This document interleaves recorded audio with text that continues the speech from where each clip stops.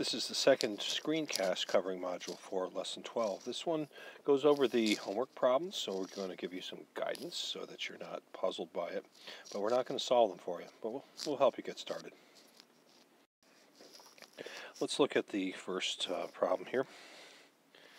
Terrence finished a word search in three-fourths the time it took Frank.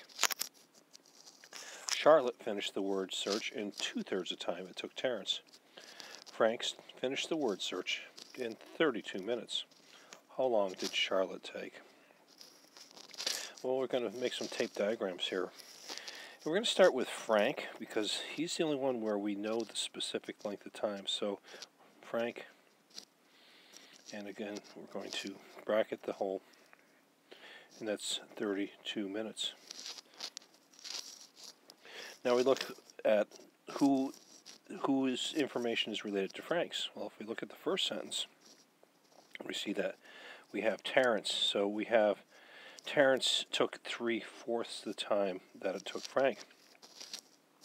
So Terrence is going to be three-fourths of this original 32. I don't know what this amount is going to be. I'm going to leave that to you to calculate it. But once we find Terrence, we can find Charlotte because whatever it took Terrence, I'll just put a question mark here for Terrence, it took Charlotte two thirds of that time. So whatever the value for Terrence is, we need to find two thirds of it to find Charlotte's time.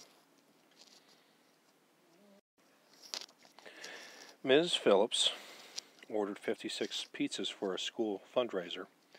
Of the pizzas ordered, two sevenths of them were pepperoni, 19 were cheese, and the rest were veggie pizzas.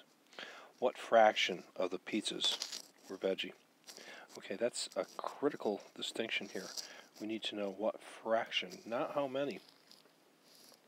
So again, we're going to make a tape diagram. We know that the whole is 56. We know that one part is 2 sevenths. Well, how much is 2 sevenths? Can we find 2 sevenths of 56? Whatever we get there is going to be our value for the pepperoni. We have a specific value of 19 for cheese. The rest are veggie. So we're going to work with numbers here. We're going to find a number for the pepperoni. We have a number for the cheese. And by using the uh, tape diagram, we're going to find the sum of the two uh, of the veggie and the pepperoni.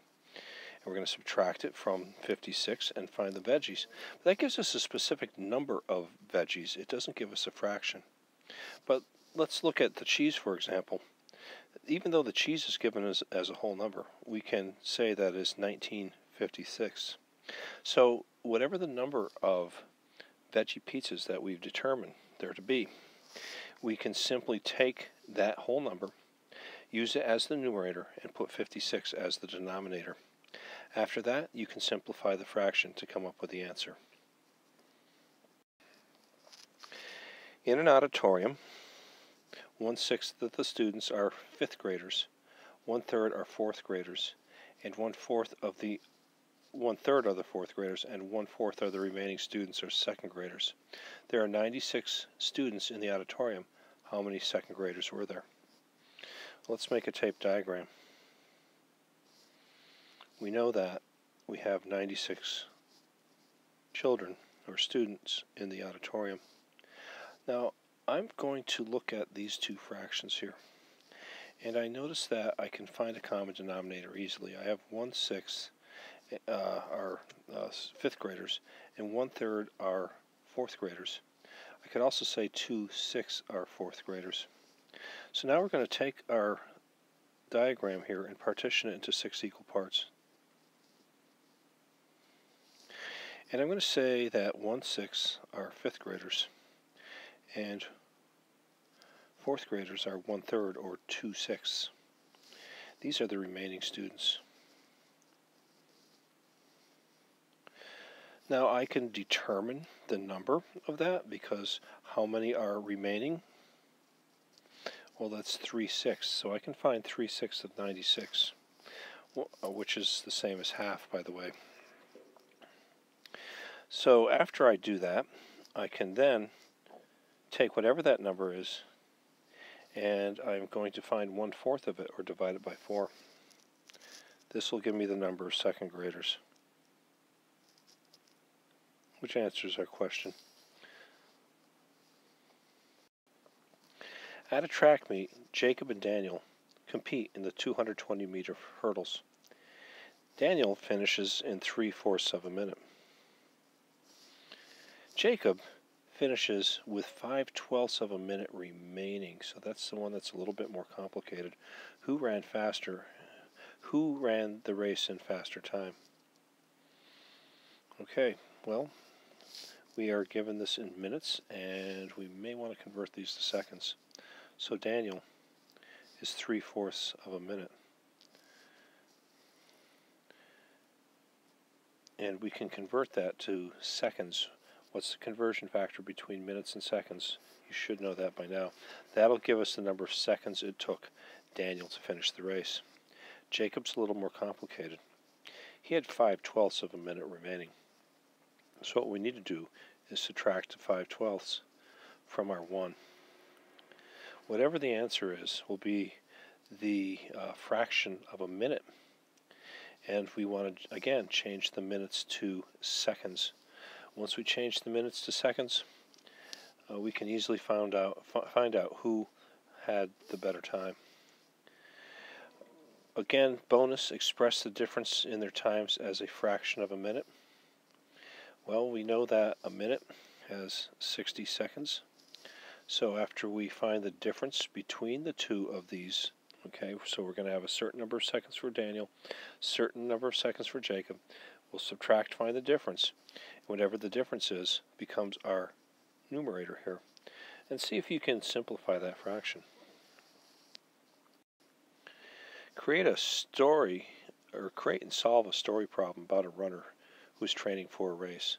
Include at least one fraction in your story. I have some examples, or one example, of a problem very similar to this in the problem set video. But what we have here is a whole of 48. So that's our beginning point. We have 48 kilometers. And somehow we're going to split those into four equal parts. Now we can do that by dividing by 4 or finding one-fourth of. Same thing. After we find the value of one-fourth, uh, these could be days or something like that, then we're going to split that, whatever the value is of the one-fourth, we're going to split it into how many parts? Three. And again, we can multiply that by one third, or we can divide it by three. But either way, we need at least one fraction in the story. If you're having a problem with this, refer back to the practice set, and I do flesh out an example for you. Create and solve a story problem about two friends and their weekly allowance whose solution is given by the expression 1 fifth times 12 plus 8. Well, since we have two friends, it's logical that we're going to work with these uh, numbers here for the friends. We could talk about their allowance, and we talk we can talk about how they spend one fifth of it. Again, pretty simple. And if you need more guidance, go back to the practice set and take a look at the video that corresponds with this.